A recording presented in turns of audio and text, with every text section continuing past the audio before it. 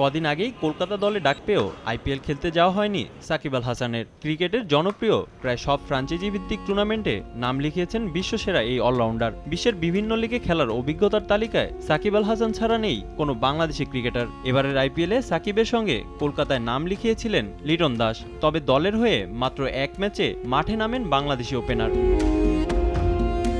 আইপিএলের পর এবার লঙ্কা প্রিমিয়ার লিগ খেলতে চব্বিশ জন বাংলাদেশি ক্রিকেটার নিলামে নাম লেখান। এলপিএলে আইকন প্লেয়ার হিসেবে গল গ্ল্যাডিয়েটর্সের সঙ্গে সরাসরি চুক্তি করেছিলেন সাকিব আল হাসান। সাকিবের পর নিলামে দল পান মোহাম্মদ মিঠুন। বিশ হাজার ডলারে মিঠুনকে দলে নেয় গল।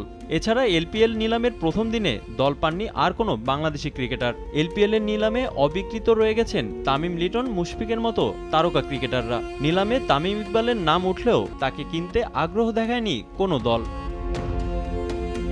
কিন্তু কেন ফ্রাঞ্চাইজি টুর্নামেন্টগুলোতে অবহেলিত বাংলাদেশি ক্রিকেটাররা? তাহলে কি সাকিব আল হাসান ছাড়া অন্য কোনো প্লেয়ারের এসব লিগ খেলার যোগ্যতা নেই?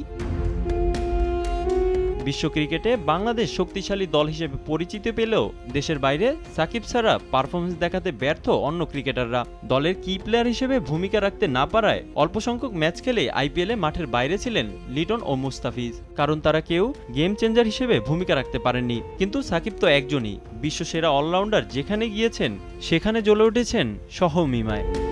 এছাড়াও ক্রিকেটে সমর্থকরা একটা বড় রোল প্লে করে। মূলত এসব টুর্নামেন্টগুলোর জনপ্রিয়তা বাড়াতে বাংলাদেশি ক্রিকেটারদের দলে রাখা হয়। আইপিএল এর মতো অনেক ফ্রাঞ্চাইজি টুর্নামেন্টগুলোতে বাংলাদেশি ক্রিকেটারদের দলে রেখে বাংলাদেশের বিশাল ফ্যানবেজের সুবিধা নেওয়া হয় টুর্নামেন্টগুলোতে। রিফাতুল ইসলাম মিরন, সময় সংবাদ।